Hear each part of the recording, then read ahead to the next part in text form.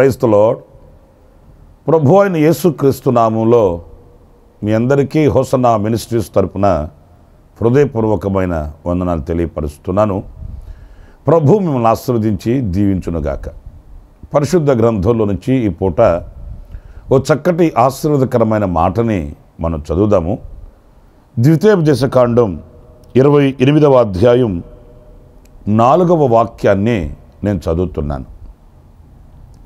నీ గర్భఫలము నీ భూఫలము నీ పశువుల మందలు నీ దుక్కుటెద్దులు నీ గొర్రె మేకల మందలు దీవింపబడును.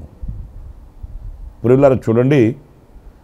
మనం ఏదైతే ఆశిస్తామో ఏదైతే కోరుకుంటామో ఆ దీవెననే సమృద్ధిగా ప్రభు ఇక్కడ అనుగ్రహిస్తున్నాడు. మనం ఏనాడు ప్రభు దగ్గరికి వెళ్ళినా మనం కోరుకునేది ఇవే. మనము మన పిల్లలు మన సంతతి మనకు కలిగిన స్వాస్థ్యం వర్ధిల్లాలని దీవించబడాలని ఫలించాలని వృద్ధి చెందాలని ప్రార్థిస్తాము అర్జిస్తాము ప్రభు పాదాల దగ్గర కన్నీరు కారుస్తాము. అయితే దేవుడు మన గర్భఫలము భూఫలము ఇవన్నీ దీవెనిస్తానన్నప్పుడు ప్రియ సహోదరులారా మనం తీసుకునవలసిన జాగ్రత్తలు కూడా కొన్ని ఉంటాయనేది మనం మర్చిపోకూడదు. ఎందుకంటే చూడండి మనం ఈ రోజున సమాజంలో కూడా కొన్ని షాపింగ్ మాల్స్కి మనం వెళ్ళినప్పుడు అక్కడ ఆఫర్లు ఉంటాయి. మీకు ఇది కొంటే అది ఆఫర్ అది కొంటే ఇది ఆఫర్ అని మనకు బహుమతులు అందచేస్తుంటారు ఆఫర్స్ ఇస్తుంటారు రాయితీ కల్పిస్తుంటారు.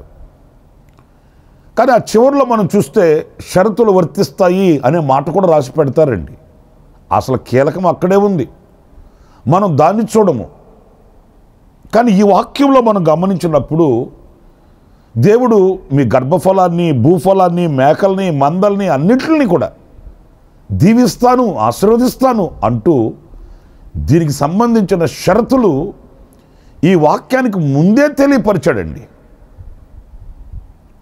మనం ఈ- షాపింగ్ మాల్స్లో ఇలాంటి కొట్ల దగ్గరికి మనం వెళ్ళినప్పుడు ఈ షరతుల్ని ఎక్కడో కనబడకుండా రాస్తారు. షరతులు వర్తిస్తాయి అని. కానీ ప్రభు అలాగా ఆయన మబ్బిపెట్టేవాడు పెట్టేవాడు కాదు. ఈ ఆశీర్వాదాలకి ముందుగానే చెప్పేశాడు. మీకు ఎప్పుడు ఇలాంటి దీవెన కలుగుతుంది? మీ భూఫలము మీ గర్భఫలము ఎప్పుడు వర్ధిల్లుతుంది? దీవించబడతారు అనేది ముందుగానే ఈ షరతుల్ని ఆయన తెలియపరిచాడు. ఇది నాలుగో వాక్యంలో మనం చదివాం కదా? ఇప్పుడు రెండో వాక్యానికి మనం వెళితే అక్కడ కీలకం అక్కడుందండి. నేను చదువుతాను ఆ మాటలు చూడండి. ఈ రెండో వాక్యంలో నీవు నీ దేవుడైన యహోవ మాట వినిన ఎడల ఈ దీవెనలన్నీ నీ మీదకి వచ్చి నీకు ప్రాప్తించును. చూసారండి ఇది మనం నేర్చుకోవలసిన కీలకమైనటువంటి పాత్ర. ఎప్పుడు ఈ దీవెనలు మన మీదకి వస్తాయంటే ఇక్కడ మనం గమనించేది నీ దేవుడైన యహోవ మాట నీవు వినిన ఎడల. ఆయన మాట వినాలి. దానికి ఆఫర్ ఏంటంటే నీ సంతతి దీవించబడుతుంది నీ భూఫలము ఆశీర్వదించబడుతుంది నీ దుఃఖటెద్దులు దీవించబడుతాయి. ఇంకా మనం ఆశీర్వాదాల గురించి చదివాం కదా? నీ గొర్రెలు నీ మేక మందలు అన్నీ దీవించబడతాయి. కీలకమైనది ఏంటంటే ఆయన మాట మనం వినాలి. ఆయన మాట మనం వినకుండా నన్ను దీవించు నన్ను ఆశీర్వదించు నా పిల్లల్ని ఉన్నతంగా చూడు నా పిల్లల్ని ఉన్నతంగా ఆశీర్వదించు నాకంటే గనులై ఉండేటట్లు ప్రభు సహాయం చేయి మనం చేసే ఈ ప్రార్థనలన్నీ చాలా మనం అవివేకంగా చేస్తున్నాము అనేది మనం గుర్తించాలి. మనం ఆయన మాట వినిన వారమే అయితే తద్వారా వచ్చే ఏ ఆశీర్వాదం మనల్ని దాటిపోదండి. దాని వలన కలిగే దీవెన మనల్ని ఎప్పుడు దూరంగా ఉంచదు. కీర్తనకారుడు దావిది చెప్పాడు కదా కృప క్షేమాలు నా వెంట వస్తున్నాయని. అలాగే వెంటే వస్తాయి వెంటే ఉంటాయి వెంటే మనల్ని సాక్షిగా మలుస్తాయి. ఎప్పుడు అంటే ఆయన మాట మనం వినాలి. మనమేమో అధికారుల మాట వింటాము వైద్యుల మాట వింటాము మనకు నచ్చి మెచ్చిన వాళ్ళ మాట వింటాము దీవెనలు కలిగించే దేవుని మాట మాత్రం మనం వినము. మనకు చాలా ఎక్కసంగా ఉంటుంది దేవుని మాటలు వినడం అనేది. ఎవరైతే ఆ మాటను వినగలుగుతారో నా ప్రియమైన సహోదరులరా వారికి ఈ దీవెనలు కలుగుతాయి. అయితే ఇంకొక విశేషమైనటువంటి అనుభవం ఏంటంటే ఇక్కడ మీరు అడుగుతారేమో అయ్యా దేవుని మాట వినకుండానే ఉన్నామా? దేవుని మాట వినకుండానే భక్తి చేస్తున్నామా? దేవుని మాట వినకుండానే ప్రభు దగ్గరకు వచ్చామా? ఇలాంటి ప్రశ్నలన్నీ మన మనసులో చెలరేగుతాయి. ఎందుకంటే ఇలాగ మాట్లాడతారు ఏంటండి వీళ్ళు? దేవుని మాట వినకుండా ఎవరి మాట వింటామేంటి అనే ప్రశ్న వెను వెంటనే మీ మనసులో లేచి నిలబడుతుంది. మిమ్మల్ని పురుకొల్పుతుంది. ఏమి నువ్వు తక్కువ భక్తి చేసావా? నువ్వు తక్కువ కానికిచ్చావా తక్కువ ప్రయాసపడ్డావా? ఏంటి మౌనంగా ఉంటావేంటి నువ్వు? అన్నట్లుగా మన మనసులో ఈ మాట మనల్ని రెచ్చగొడుతుంది. అయితే ఒక మాట చెప్తాను వినండి. వింటున్నాంలే కానీ ఎలా వింటున్నాము? ఎలా వింటున్నామండి ఆయన మాట? నేను చెప్పడం కాదులే కానీ దేవుని వాక్యం దగ్గరకు వద్దాం. ఎలా వినాలి ఆయన మాటని అని గనక దేవుని వాక్యం దగ్గరకు వస్తే చక్కటి అనుభవం. యషయ గ్రంథం మొదటి అధ్యాయం పంతొమ్మిదవ వాక్యంలో మనం చదివినప్పుడు ఎలా వినాలో అక్కడ రాయబడింది. చదువుతాను ఆ మాటని మీరు సమ్మతించి నా మాట వినిన ఎడల మీరు భూమి యొక్క మంచి పదార్థములను అనుభవింతురు. చూసారండి మీకు సమాధానం దొరికింది అనుకుంటున్నాను నేను. ఇక్కడ మనం గమనిస్తే మీరు సమ్మతించి వినాలి నా మాట. వినడం కాదు సుమా. అందరూ వింటున్నారు. అందరూ వింటాము. ఆదివారం వెళ్తే సగం నోట్బుక్ రాసేస్తాం. మన ఇంట్లో డైరీలు డైరీలు పేర్చి పెట్టేస్తాం. ఇంకా నేను చెప్తే మీరు బాధపడతారులే కానీ ఇంటికి ఒంటికి కంటికి ఇంకా కంచాలకి మంచాలకి అన్నిటికీ వాక్యమే. కానీ సమ్మతించే వాళ్ళు ఎంతమంది వాక్యాన్ని? ఏమంటే వాక్యం అలాగే చెప్తుంటుందిలేండి. అలాగ చేయాలంటే ఎలా కుదురుతుంది? అలాగ బ్రతకాలంటే ఎలా కుదురుతుంది? ఉప్పు కారం తినేవాళ్ళమైతే ఇదిగో ఇది మన నోట వచ్చే మాట. రేడియోలో వాక్యమే టీవీల్లో వాక్యమే అసలు ఫోన్లో వాక్యమే. ఈరోజు వాక్యం లేని చోటు ఎక్కడుంది? కానీ ఆ వాక్యాన్ని విని ఆ వాక్యాన్ని సమ్మతించి అంగీ ఆ- అంగీకరించే వాళ్ళు ఎంతమంది? సమ్మతిస్తున్నామా ఆ వాక్యానికి. వాక్యం ఎలా చెప్తుంది మనం అలాగే చేయాలి. అని తీర్మానం ఎంతమంది తీసుకుంటున్నారు? రెండు గంటలు ప్రసంగం వింటారు. ఆఖరిలో ఐదు నిమిషాలు ప్రార్థన చేసుకోమంటే బైబిల్ సంఖ్యలో పెట్టుకుని అడ్రస్ లేకుండా వెళ్ళిపోతారు. ఒకటిన్నర గంట సేపు దైవజనుడు గుండెలు పగిలేటట్లు కేకలేసి చెప్పే వాక్యాన్ని వింటాము. మాస్టర్ గారికి పాస్టర్ గారికి మార్కులు వేసేస్తాము. ఆ తర్వాత అడ్రస్ లేకుండా మీ అడ్రస్కి వెళ్ళిపోతాము. ఓ ఏదో అర్జెంట్ అర్జెంట్గా ఇప్పుడు టెలిగ్రామ్ వచ్చిందండి. ఇప్పుడే నేను నేను వెళ్ళి అక్కడ వాలిపోవాలండి అన్నట్లుగా వెళ్ళిపోతాం. అరే చెప్పిన వాక్యం ఎలా ఉంది? నేను ఇలాగే చేస్తాను ప్రభువా. అలాగే నేను నడుస్తానయ్యా. అలాగే నీ మాట ప్రకారమే చేస్తానయ్యా. అని తీర్మానం చేసేవాళ్ళు ఎక్కడ? అని తీర్మానాలు ఎక్కడ? నా ప్రియమైన సహోదరులారా సమ్మతించి ఆయన మాట వినాలట. ఆయన పలికినప్పుడు ఆయన మాట విన్నప్పుడు సమ్మతించాలి. ప్రభు అలాగే నువ్వు చెప్పినట్టు మీరు పేతురు వలలు కడుక్కుంటున్నాడు. తెల్ల తెల్లవారుతుంది. ప్రభు అతనికి ప్రత్యక్షమయ్యాడు. ఏమా ఏమన్నా చేపలు పట్టారా? చూడండి పేతురు అక్కడ ఏమి ప్రభుకు దాచిపెట్టలేదు. ఏమైనా సంపాదించారా? ఏమైనా మీరు స- వలలో ప్రయాసపడ్డారు కదా? ఏమైనా చేపలు పట్టారా? అన్నప్పుడు మనమైతే ఏమంటాం? ముక్కు మొఖం తెలియని వాళ్ళు ఒకరు వచ్చి ఏమంటే ఏమైనా సంపాదించారా? అంటే ఏమంటామండి? ఏమీ లేకపోయినా బిల్డప్ ఇచ్చేస్తాం. సంపాదించకుండా ఎందుకుంటామండి అంత చేతగాని వాళ్ళు అనుకున్నామేంటి అది సంపాదించాము ఇది సంపాదించాము అంతుంది ఇంతుంది ఇంత ఉంది అని ఎంతో చెప్పేస్తాం. మరి పేతురు కూడా ఆ రోజున ఈయన ఈయన ఎవరో ముక్కు ముఖం తెలియనని వచ్చి అడుగుతున్నాడు. ఇప్పుడు ఈయన గనక ఏం పట్టలేదండి అని అంటే ఈడొట్టి చేతగానోడు ఉన్నట్టున్నాడు అనుకుంటాడేమోనని. ఆ పర్లేదండి అని సమాధానం చెప్పచ్చు కదా. ఆ పర్లేదు కాదు బ్రదర్ ఏమైనా సంపాదించారా లేదా ఏమైనా పడ్డాయా లేవా అన్నప్పుడు ఆ పర్లేదండి పర్లేదు. ఎందుకంటే మనకు వాళ్ళ దగ్గర పరువు పోతుంది కదా విలువ పోతుంది కదా. అలా చెప్పచ్చు కదా. కానీ పేతురు అలా చెప్పలేదండి. ఉన్నది ఉన్నట్టుగా చెప్పేశాడు. కొండ బద్దలు చేసినట్టు. అయ్యా మేము రాత్రంతా శ్రమ పడ్డాము. ఏమీ దొరకలేదు బాబు. ఆయన ఏమన్నా అనుకోనివ్వండి. చేతగానోడు ఉన్నట్టున్నాడు అనుకుంటాడా? లేకపోతే సోమరోడు ఉన్నట్టున్నాడు ఇతను అనుకుంటాడా? మరోలా మరోలా ఏమన్నా అనుకొని ఉన్నది ఉన్నట్లుగా చెప్పేశాడు. బాబు మేము రాత్రంతా శ్రమ పడ్డాము. ఏమీ దొరకలేదు. ఈ యథార్థమైన హృదయాన్ని చూశాడు దేవుడు. వెంటనే అన్నాడు ఇప్పుడు మీరు వల వేయండి అంటే ఆయనకు ఆశ్చర్యం కలిగింది. అరే ఈ పగలు చేపలు పడవు కదా? మళ్ళీ ఆలోచించాడు. ఇప్పుడు నేను ప్రయాసపడ్డాను ఏం దొరకలేదు.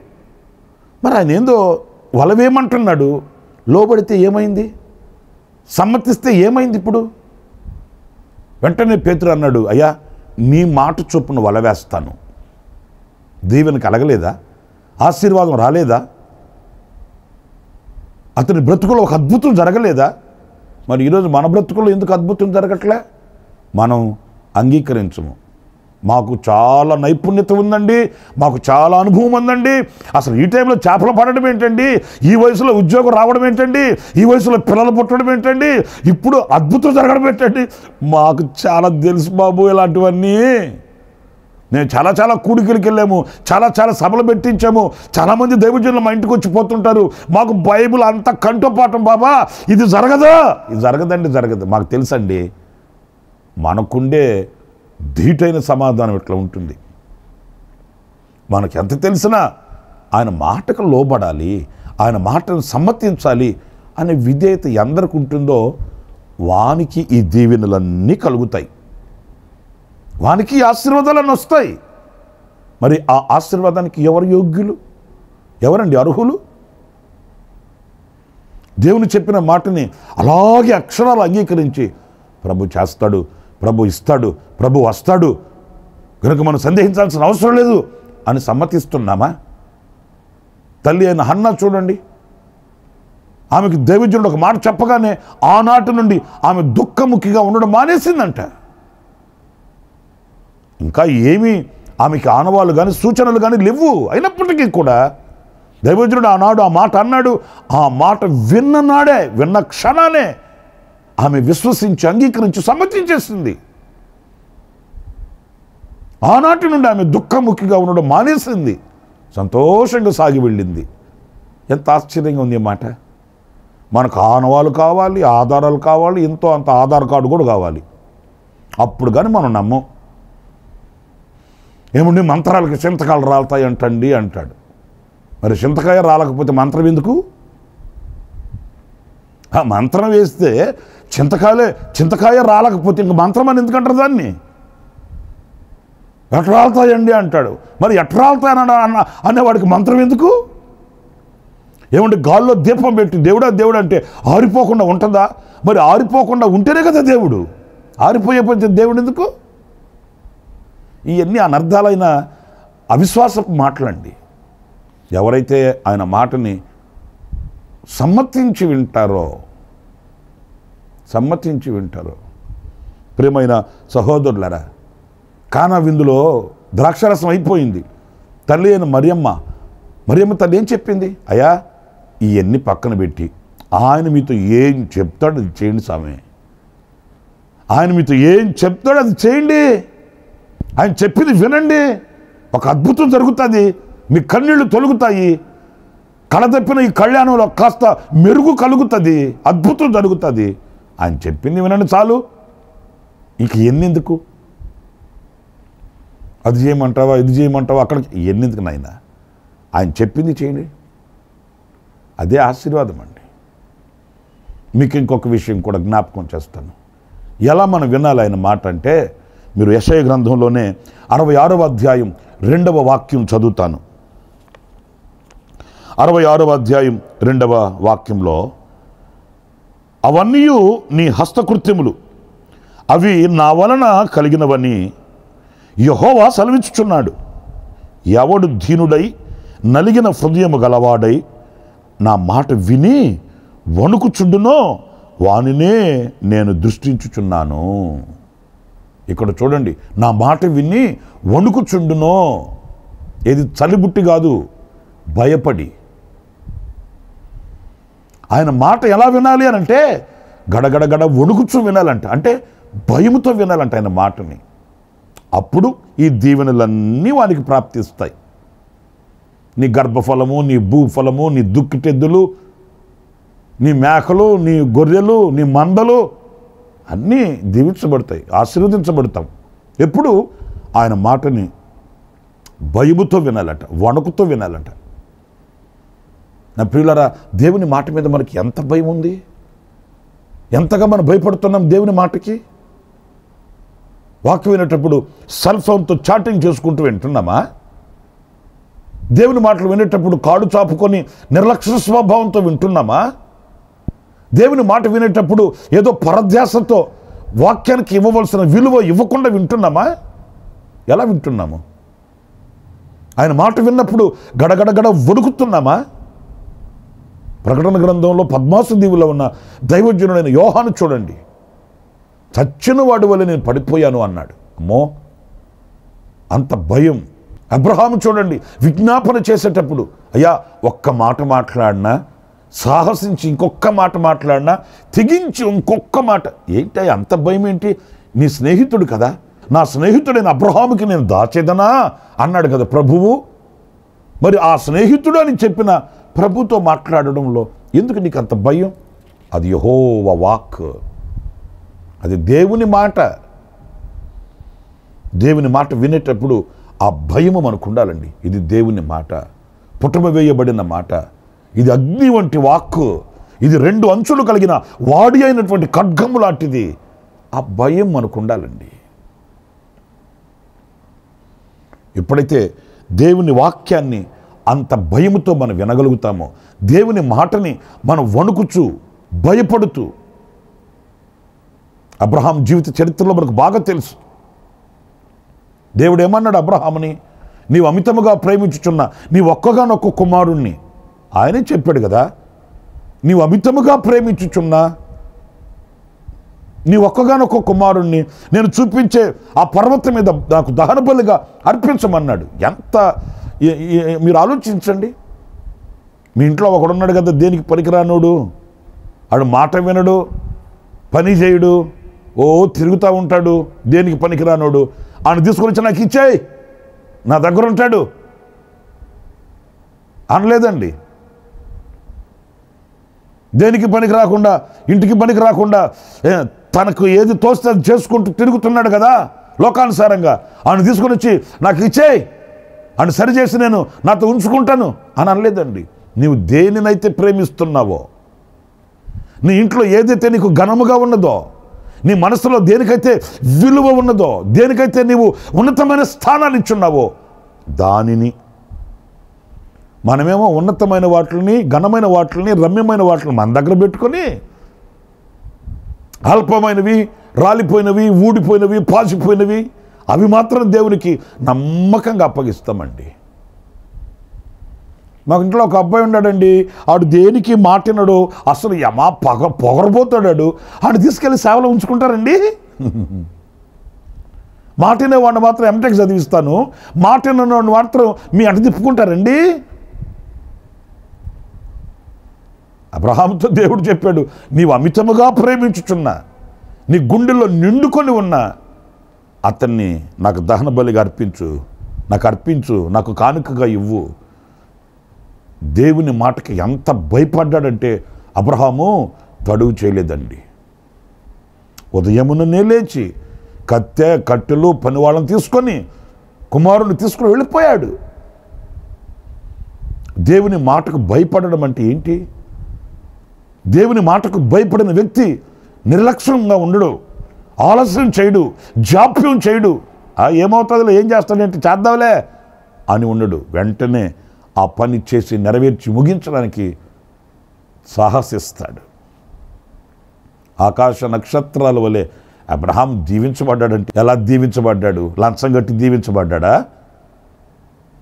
ఇలియాసర్ ఏం చెప్పాడు? నా యజమానుడైన అబ్రహాముని దేవుడు యహోవా ఆశీర్వదించాడు. యహోవ చేత ఆశ్రవదించబడిన వాడు నా యజమానుడు. యహోవా చేత దీవించబడినవాడు. ఎందుకు దీవించాడు అంటే దేవుని మాటకు అంత భయపడినవాడు అబ్రహాం. మరి మనం భయపడుతున్నామా దేవుని మాటకి? దేవుని మాట విని ఆ రీతిగా మోనింగ్ చేయాలి అనే భయం మనకు ఉంటుందా? ఆఖరిగా మరొక మాట నేను మీకు జ్ఞాపకం చేస్తాను. అదేంటంటే ప్రకటన గ్రంథం మొదటి అధ్యాయం మూడవ వాక్యాన్ని మనం చదివినప్పుడు అందులో ఉన్న మాటను నేను చదువుతున్నాను. సమయము సమీపించినది గనుక ఈ ప్రవచన వాక్యములు చదువువాడును. వాటిని విని ఇందులో వ్రాయబడిన సంగతులను గైకొనువాడును ధన్యులు. ప్రియులారా చూడండి వాక్యంలో విని గై కొనాలంట వినడం మాత్రమే కాదు సుమా అందరం వింటున్నాం కదా. గై కొనడం గ్రహించడం. మీరు మార్కు సువార్త ఏడవ అధ్యాయం పద్నాలుగవ వాక్యాన్ని చదివితే అందులో వ్రాయబడిన మాట అప్పుడు ఆయన జనసమూహమును మరలా తన యొద్దకు పీలిచి మీరందరూ నా మాట విని గ్రహించుడి. గ్రహించాలండి. ఎందుకు చెప్తున్నాడు?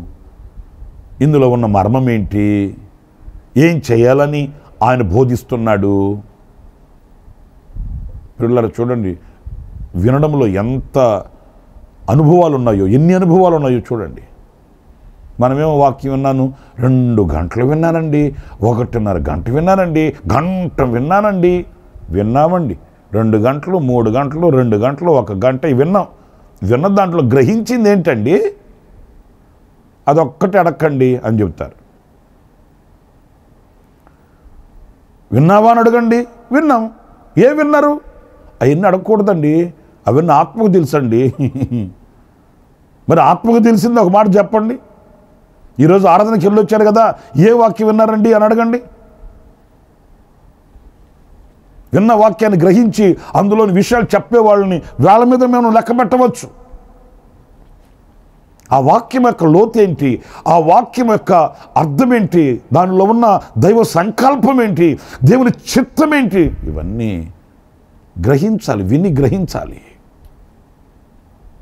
ఈ నా శరీరము తిని ఈ నా రక్తం త్రాగువాడు నిత్య జీవము గలవాడు అవుతాడని ప్రభు చెప్తే ఆ మాట వాళ్ళకి ఎక్కింది కిక్కు. ఏంట్రా? ఏంటినా? నా శరీరం తిని నా రక్తం త్రాగు అంటాడేంటి? మనల్ని రాక్షసులు అనుకున్నాడు ఏంటినా మనల్ని ఏంటి చిన్న చూపు చూస్తున్నాడు? రక్తం దాగి మనుషుల మాంసాన్ని తినేవాళ్ళలాగా అనుకున్నాడా మనల్ని? ఎందుకు మన మీద ఆయనకి ఇంత చిన్న చూపు?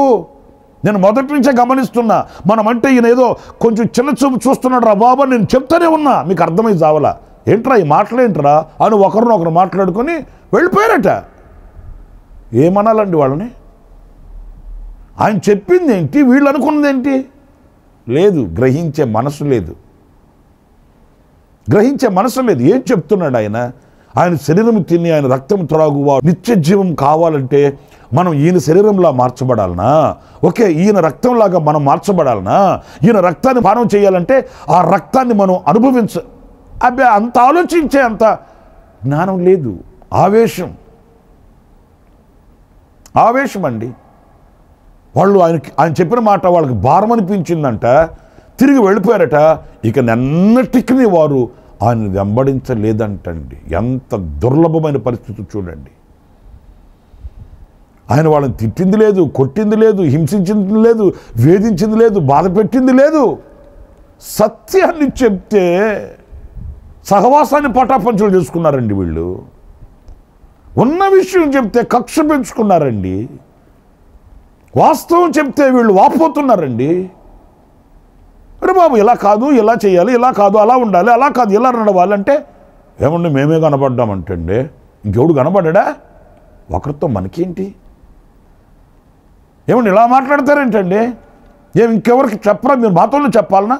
సరే ఇంకొకరితో చెప్పామనుకో ఆయన వాళ్ళతోనే చెప్తాడండి. మాకు ఎందుకు చెప్తాడు? చెప్తే ఒక తంట చెప్పకపోతే ఒక తంట. నా ప్రియ సహోదరులారా బాధకరమైన విషయం. వెళ్ళిపోయారట. వద్దురా మనకు. వెళ్ళిపోయారు. ఒకవేళ వాళ్ళని కనబడితే వాళ్ళని అడిగే మనకు ఎందుకు వచ్చేసారండి అని. వాళ్ళు అంటారు మాకు గిట్లేదండి ఆయన ఆయన రక్త మాంసాలు తినమంటున్నాడు. రక్తాన్ని ఆయన రక్తాన్ని మేము తాగేది ఏంటి? ఆయన శరీరాన్ని మేము తినేది ఏంటి? సరే అర్థం కాలేదు. ప్రభువా నాకు ఈ మాట అర్థం కాలేదు. నీ రక్తాన్ని తాగి నీ మాంసాన్ని అంటే ఏంటి ప్రభువా?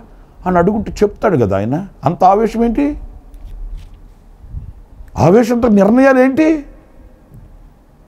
ఎవరికి లాస్ ఎవరికి నష్టం? ఆయనకు వేరే ఇండి ఫలించగలమా? ఆయనకు వేరే ఇండి దీవించబడగలమా? ఆయనకు వేరే ఇండి మనం ఫలించి దీవెనకరంగా బ్రతకగలమా? ఒక క్షణం. మనకు గడుస్తుందా? చీకటమేం కదా దినాలు. ఆ చీకటైనా పర్లేదు వెళ్ళిపోయారు అందుకే ఎవడు నా మాటలు విని ఆ మాటలను గైకొంటాడో వానికి ఈ దీవెనలు. ఎలా వినాలి? మూడు విషయాలు చెప్పాను. సమ్మతించి ఆయన మాట వినాలి. వణకుచు భయముతో ఆయన మాట వినాలి. గ్రహించి ఆయన మాటలు వినాలి. అప్పుడు దీవెన మనకు కలుగుతుంది. తీర్మానం చేసుకుందాము. తలలు వంచండి. ప్రార్థన చేస్తాను. జీవాధిపతి అని ప్రభువ కృపా సత్య సంపూర్ణుడా మీకు వందనాలు. మేము ఎలా దీవించబడాలి? ఎలాగ మేము ఆశీర్వదించబడాలి? మీ లేఖనాలలోంచి మేము గ్రహించగలిగాము. అవును నీ మాట విన్నప్పుడే కదా నాయన? ఎలా నీ మాట వినాలి అనేది ఒక మూడు అనుభవాలు మేము తలంచుకుంటూ వచ్చాము. సమ్మతించి వినడానికి వణకుచు భయముతో వినడానికి గ్రహించి వినడానికి మాకు కృపను అనుగ్రహించమని. నాయన ఈ అనుభవాలు లేక దీవెనలు పోగొట్టుకునిన సన్నివేశాలు ఎన్నో మాకు జ్ఞాపకం వస్తున్నాయి. పశ్చాత్తాపడుతున్నాము పాదాలు పట్టుకుంటున్నాము. కనికరించమని వేడుకుంటూ నాయన మీ పాదాల దగ్గర విజ్ఞాపన చేస్తున్నాము. మా ప్రార్థన ఆలకించి మీరు మమ్మల్ని ఆశీర్వదించి దీవించమని. ఈ మాటలు విని ఒక్కొక్కరిని కూడా ఆశీర్వదించండి. వారి యొక్క హృదయ అభిలాషను తీర్చండి. స్వస్థపరచు దేవునిగా ప్రత్యక్షం అవ్వండి ఒక్కొక్కరిని సాక్షపు కుటుంబాలుగా తీర్చిదిద్దమని మమ్మల్ని మీ చేతులకు అప్పగించుకుంటూ యేసు నామములో ప్రార్థించి వేడుకొనుచున్నాను తండ్రి. ఆమెన్. ఆమెన్. ప్రభు మిమ్మల్ని ఆశీర్వదించి దీవించునుగాక ఈ దినమంత విశేషమైన కృప నా దేవుడు సమృద్ధిగా మీకు అనుగ్రహించునుగాక. ఆమెన్. ప్రతి దినము ఈ అనుదిన కృపాను సందేశాల కొరకు ఇంకా మరిన్ని ఆత్మ సంబంధమైన సందేశాల కొరకు ఈ మా యూట్యూబ్ ఛానల్ని సబ్స్క్రైబ్ చేసుకోండి. Pastor Ramesh Kosanna ministries